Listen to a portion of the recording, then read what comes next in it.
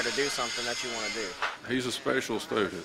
He helps a lot of the students that, that struggle because sometimes I can't get it across to the students, but other students can. If you do anything I see wrong, I'm gonna let you know about it.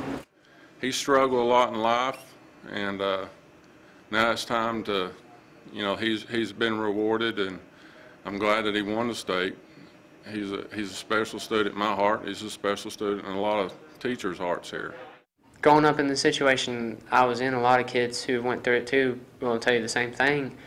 You kind of lose a sense of hope that you will become something.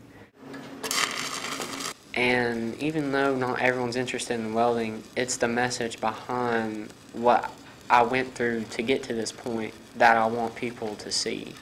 That, that state championship was it was, it was pretty pretty amazing. There was always that little you know voice in the back of my head saying it's like you can't do it, but you have to overcome that too. First thing I did is I looked at my mom and I was like, whose name is that? Because I, I there's I didn't, I couldn't believe it was mine. And uh, they called my name over the intercom, and she just looked at me and she was like, "That's you." I know a lot of his background, and uh, he's the one that you would take home with you, you know. But you know, as, as teachers, we can't do that. But you know, he, he's touched my heart from what he's done.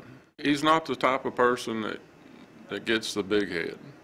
You know, he wants to he wants to share his education on with others, not only just in education, but in life in general. I had to think about, even at a young age, how do I want to be seen by people?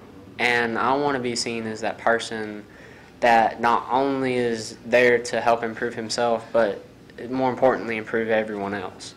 You're showing other people that it's okay to care and it's okay to take your time and help other people. And I think that's one of the most important things that you can do in, in this life is help other people. Well, great job. If you have an idea for a story, go to our website, WDEF.com. Look for the icon that says What's Right with Our Schools, and you're going to find a link where you can post your story idea. Well, help grant Chip Chapman's